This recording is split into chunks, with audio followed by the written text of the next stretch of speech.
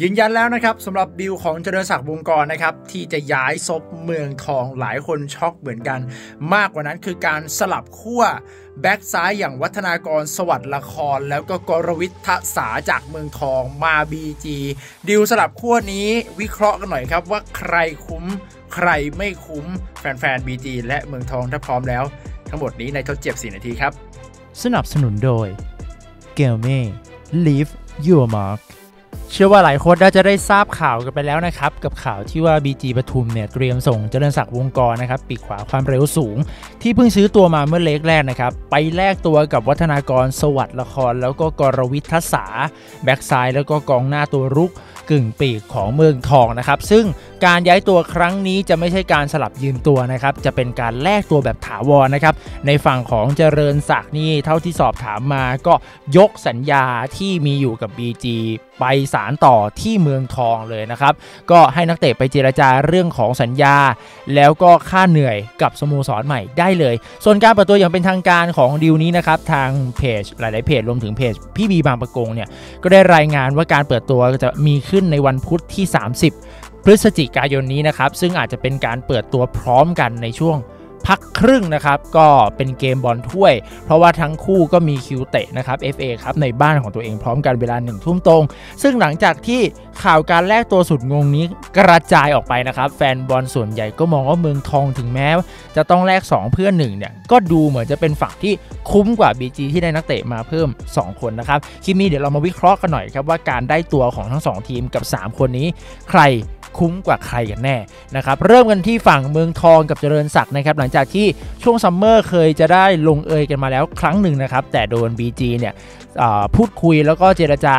เสร็จสิ้นก่อนหน้าไปซะก่อนนะครับ แต่สุดท้ายก็ได้มาอยู่ด้วยกันจนได้นะครับ ก็ดูจะเป็นผลดีกับทั้งคู่นะครับ เพราะว่าฝั่งของเมืองทองเนี่ย การที่ตามหาปีกขวามานานนะครับ แล้วก็สไตล์การเล่นของเท่ที่เป็น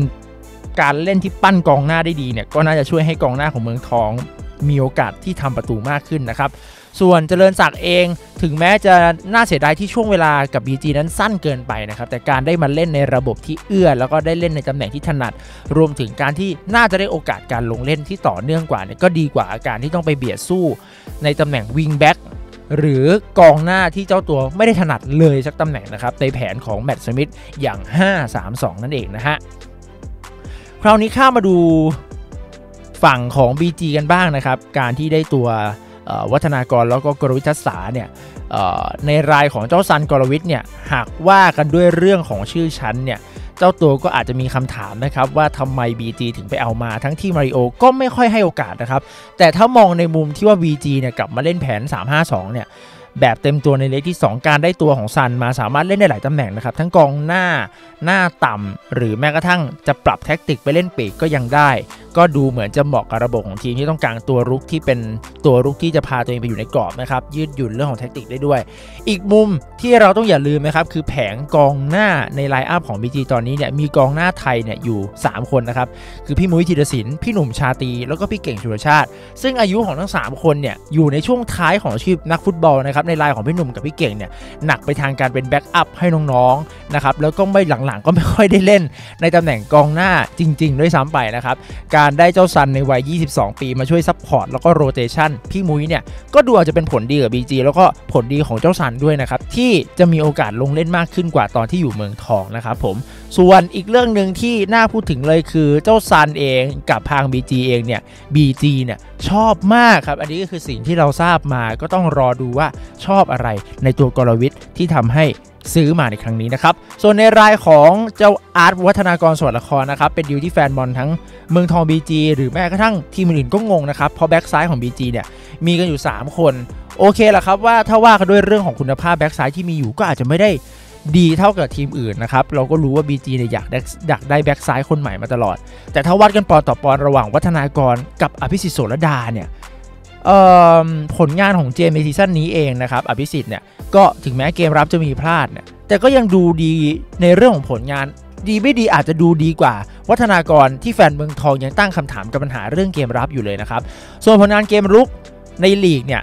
วัฒนากรลงเล่นไป 14 นัดนะครับทำได้เพียงแค่1 assistส่วนเจมเนี่ยอภิสิทธิ์นะครับลงเล่นไป 11ทำไป 3 พอดูผลงานเทียบกันแล้วเนี่ยก็ดูงงๆนะครับว่าทำไม BG ถึงตัดสินใจตรงนี้มานะครับซึ่งที่พูดมาก็ไม่ได้ขวะหมายความว่าอาร์ตไม่เก่งนะครับแต่มันแค่งงๆกับการดึงตัว โดยที่ BG ขาดแบ็กซ้ายขนาดนั้นเลยหรือเปล่านะครับถึงแม้ว่าจะดึงมาเนี่ยผมว่าแฟน BG ก็จะงงๆกับการที่ดึงทั้งที